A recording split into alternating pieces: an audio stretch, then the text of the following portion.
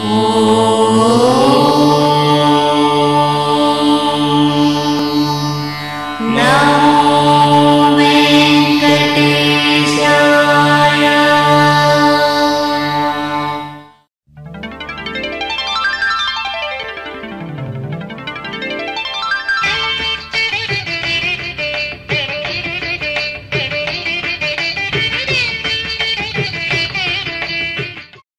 శ్రీమత్ సౌభాగ్య జననీం స్తౌమి లక్ష్మీం సనాతనీం.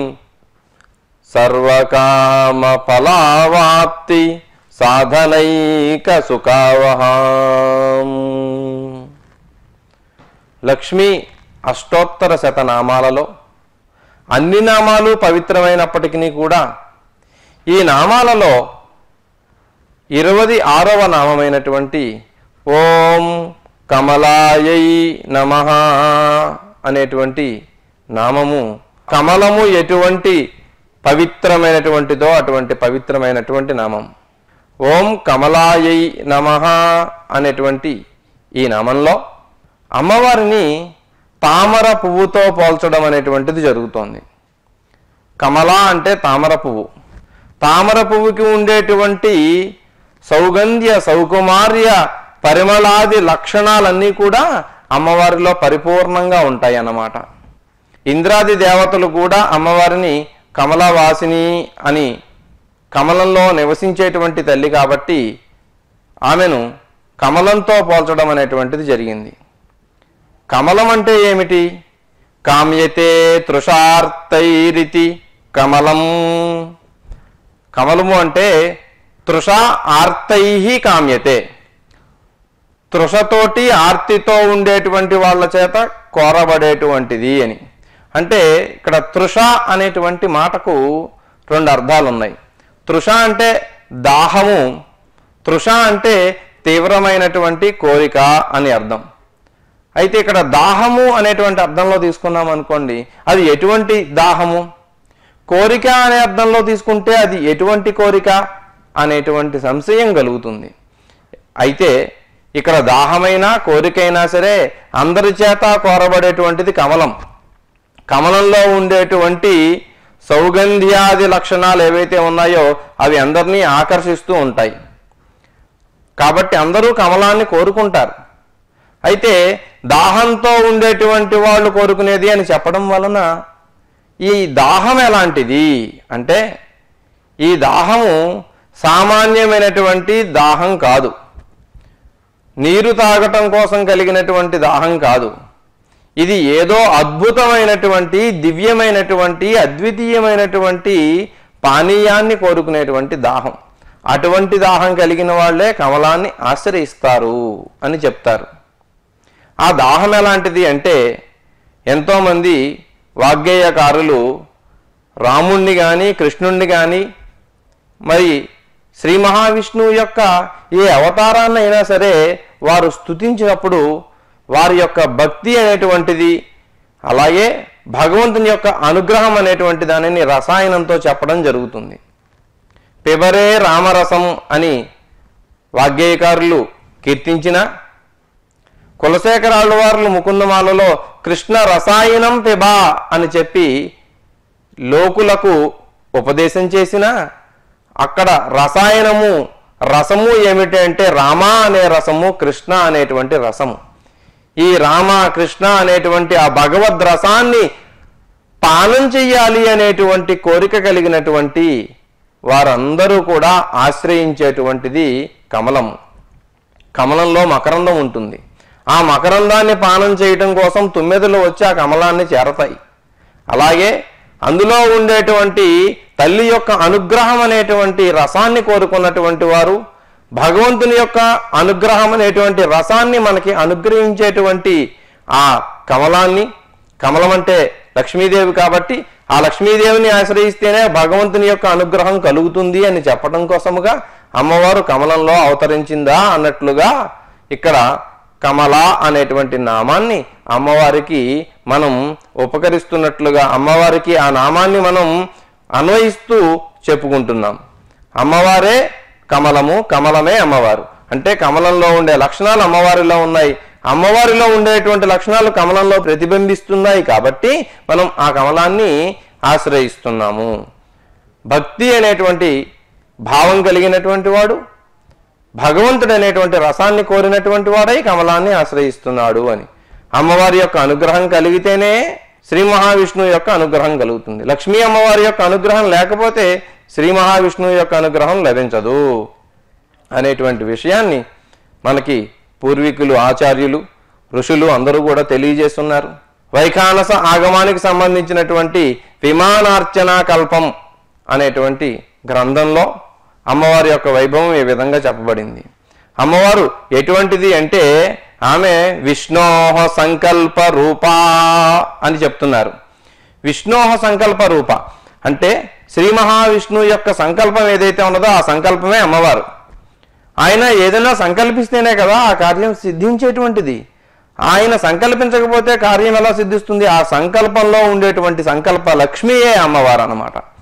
అటువంటి అమ్మవారి యొక్క దయ ఆ సంకల్పంలో ఉండడం వలన ఆ కార్యం సిద్ధించడం అనేటువంటిది జరుగుతోంది కాబట్టి అమ్మవారి అనుగ్రహం లేకపోయినట్లయితే శ్రీ మహావిష్ణువు యొక్క అనుగ్రహం కలగదు.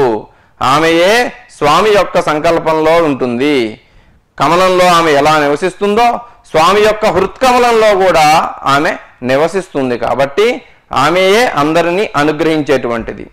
దయ అనేటువంటిది హృదయంలో నుంచి కలుగుతుంది కాబట్టి ఆ హృదయంలో హృదయ లక్ష్మిగా భూతకారుణ్య లక్ష్మిగా ఆమె శ్రీమన్నారాయణుని యొక్క హృదయంలో ఉంటుంది కాబట్టి దయామయీ అన్నారు కదా కమలము. అంటే తామర పువ్వులో ఉండేటువంటి ఆమె మాత్రమే కాకుండా తామర పువ్వులో ఉండేటువంటి లక్షణాలు ఎలాగ మనకి ఆకర్షణీయంగా ఉంటాయో అటువంటి లక్షణాలు కలిగినటువంటిది అని చెప్పవచ్చు. అందుకోసమే మాతర్నమామి కమలే కమలాయి తాక్షి విష్ణు హృత్కమలవాసిని విశ్వమాత. క్షీరోదజే కమల కోమల గర్భగౌరీ లక్ష్మీ ప్రసీద సతతం నమతాం శరణ్యే అని చెప్పి అమ్మా నీకు నమస్కరించేటువంటి వాళ్ళందరినీ కూడా నీవు ఉద్ధరించేటువంటి దానవు.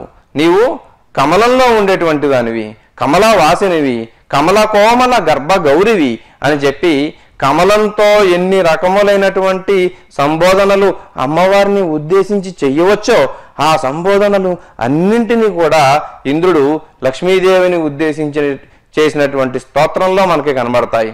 కాబట్టి ఈమె క్షీరోదజే కమల కోమల గర్భగౌరి. అంటే క్షీరసాగరంలో ఉండేటువంటి కమలంలో పుట్టినటువంటి ఆమె అని చెప్తూ పుట్టుకే కమలంలో ఉన్నది కాబట్టి ఆ కమలానికి ఉండేటువంటి లక్షణాలు ఏవైతే ఉన్నాయో ఆ లక్షణాలన్నీ కూడా ఆమె ద్వారానే ఆ కమలానికి అనుగ్రహించబడ్డాయి. కాబట్టి ఆమెని మనం కమలా అనేటువంటి నామంతో స్తుతిస్తూ ఈ నామంతో తల్లి నిన్ను ఎవరైతే స్తుతిస్తారో వాళ్ళందరినీ కూడా నమతాం శరణ్యే. నమస్కారం చేసేటువంటి వాళ్ళందరినీ కూడా నీవు రక్షించేటువంటి దానివి రక్షించాలి అని చెప్పి కోరుకుంటున్నారు. కమలంలో ఉండేటువంటి సౌగంధ్యాది లక్షణాలు ఏవైతే ఉన్నాయో సౌకుమార్యం ఏదైతే ఉన్నదో అదంతా అమ్మవారిలో ఉంది కాబట్టి ఆమె వారందరినీ రక్షిస్తుంది. పద్మము అనేటువంటి పేరుతో కూడా అమ్మవారు పిలువబడుతూ ఉంటారు. పద్మిని పద్మగంధిని పద్మప్రియ పద్మాలయ అనేటువంటి మాటలతో. పద్మప్రియే పద్మిని పద్మహస్తే పద్మాలయే పద్మదళాయతాక్షి విశ్వప్రియే విష్ణుమనోనుకూలే త్వత్పాద పద్మం మై సన్నిధత్స్వా అని శ్రీ సూక్తము యొక్క ఫలశ్రుతిలో చెప్పబడినట్లుగా ఆమె పద్మ సదృశి అయినటువంటి ఆమె కాబట్టి ఈమె ఎటువంటిది అంటే విష్ణు మనోనుకూలే అని చెప్తున్నారు. విష్ణు మనోనుకూలే అంటే విష్ణుమూర్తి యొక్క మనసులో ఏదైతే ఉన్నదో దానిని తాను ముందుగా తెలుసుకునేటువంటిది. అంటే మనోగత ఎవరికి ముందుగా తెలియదు బయట ఉండేటువంటి వాళ్ళకి తెలియదు కానీ విష్ణువు యొక్క మనసులో ఏమున్నదో ఆమె మాత్రమే తెలుసుకోగలిగేటువంటిది కాబట్టి ఆమెను కమలా అనేటువంటి నామంతో గనక మనం శరణు వేడినట్లయితే పద్మ దళాయితాక్షి అని కీర్తించబడుతోంది కాబట్టి పద్మము వంటి నేత్రములు కలిగినటువంటి ఆ తల్లి ఆ కమలము వంటి హృదయం కలిగినటువంటి ఆ తల్లి మనల్ని అందరినీ కూడా రక్షిస్తుంది అనే ఉద్దేశంతో ఈ నామంతో అమ్మవారిని కీర్తించడం అనేటువంటిది జరిగింది. ఇరవై ఏడవ నామమైనటువంటి ఓం కాంతాయై నమ అనేటువంటి నామం. ఇక్కడ అమ్మవారిని కాంత అని చెబుతున్నాం. కాంత అంటే గృహిణి ప్రియురాలు అని అర్థం. శ్రీ మహావిష్ణువు యొక్క గృహిణిగా ఈమె ఈ లోకంలో కీర్తించబడుతున్నటువంటి మహనీయురాలు. అందుకే ఈమె జగజ్జననిగా ఈ లోకంలో కీర్తించబడుతోంది. కాబట్టి ఈమె కాంత. మరి కాంత అనేటువంటి మాట స్త్రీలింగం. కాంతహ అంటే పుంలింగం. ఎవరు కాంతుడు ఎవరు కాంత అంటే విష్ణువు కాంతుడు మహాలక్ష్మి అమ్మ కాంత అని ఇక్కడ కీర్తించడం అనేటువంటిది జరుగుతోందనమాట ఈమె కాంత కాబట్టి ఈమె చేత ఆకర్షించబడేటువంటి వాడు కాంతుడు అని చెప్పబడుతున్నాడు. ఆయన విష్ణువు అనమాట అయితే ఈమె యొక్క ఆకర్షణ ఎలా ఉంటుంది? అంటే కాంత అంటే ఆకర్షించేటువంటిది కాబట్టి ఈమె ఏ విధంగా తన ప్రియుడైనటువంటి శ్రీ మహావిష్ణువుని ఆకర్షిస్తుంది? అనంతాళ్వానులు అనేటువంటి ఆచార్య పురుషులు గోదా చతుశ్లోకి అనేటువంటి ఒక స్తోత్రంలో అమ్మవారు ఏ విధంగా శ్రీ మహావిష్ణువుని ఆకర్షిస్తుందో చెప్తారు. ఆమె ధరించినటువంటి మాల ఏదైతే ఉన్నదో ఆ మాలతోటి ఆ విష్ణువుని కట్టివేయగలిగినటువంటి శక్తి కలిగినటువంటి అమ్మ అని అర్థం అనమాట అటువంటి కాంత ఈమె. అందుకోసమే మనం ఈమెను కాంతాయై నమ అని కీర్తిస్తున్నాం. ఆ విష్ణువు యొక్క కాంత ఈమె. ఈమె ఎలా చెబితే ఆయన అలా చేస్తాడనమాట ఆ విష్ణువుకి ఈమె అంటే చాలా ప్రీతి అనమాట కాబట్టి ఈమె యొక్క ఆజ్ఞని ఉల్లంఘించి ఆయన ఏమీ చేయడు.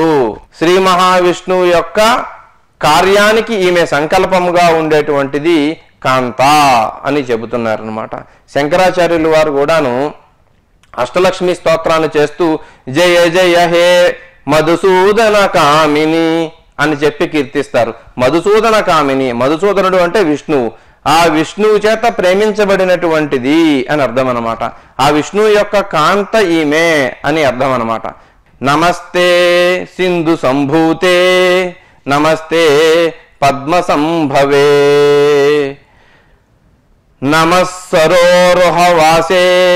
నారాయణ కుటుంబిని. నమస్తే పద్మ సంభూతే నమ కమలమాలిని. నమ కమలవాసిన్యై గోవింద గృహమేదిని అని చెప్పి ఈ మాటను లక్ష్మీతంత్రం అనేటువంటి పాంచరాత్ర ఆగమ గ్రంథంలో దేవేంద్రుడు అమ్మవారిని ఉద్దేశించి స్థుతించినటువంటి మాట ఇది. దేవేంద్రుడు అమ్మవారిని ఉద్దేశించి గోవింద గృహమేదిని అని చెప్తాడు. అంటే అమ్మా నీవు ఆ గోవిందుని యొక్క గృహమేదిని గృహిణివి నీవు అని చెబుతారు. చెబుతూ నీవు ఎలాంటి దానవి అంటే పద్మ సంభవే పద్మంలో అవతరించినటువంటి దానవు.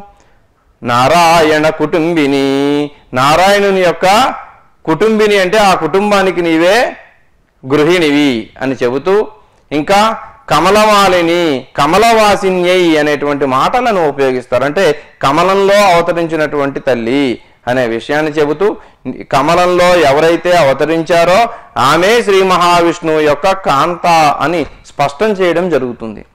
గోవిందుని యొక్క కాంత విష్ణువు యొక్క కాంత అటువంటి విష్ణు సంబంధాన్ని ఇక్కడ స్మరించుకుంటూ అమ్మవారిని గనక కీర్తించినట్లయితే అమ్మవారు మరింత ప్రీతిపాత్రురాలై మనల్ని విశేషంగా అనుగ్రహిస్తుంది అనమాట అందుకోసం మనం అందరము కూడా ఓం కాంతాయై నమ అనేటువంటి మాటను స్మరిస్తూ మనసులో విష్ణువుని అమ్మని కూడా స్మరిస్తూ గనక పుష్పాలు సమర్పించి భావం సహితముగా అమ్మవారిని గనక అర్చించినట్లయితే మనకి అమ్మవారి యొక్క విశేషమైనటువంటి అనుగ్రహం కలుగుతుంది. ఓం స్వస్తి. శ్రీ నమ.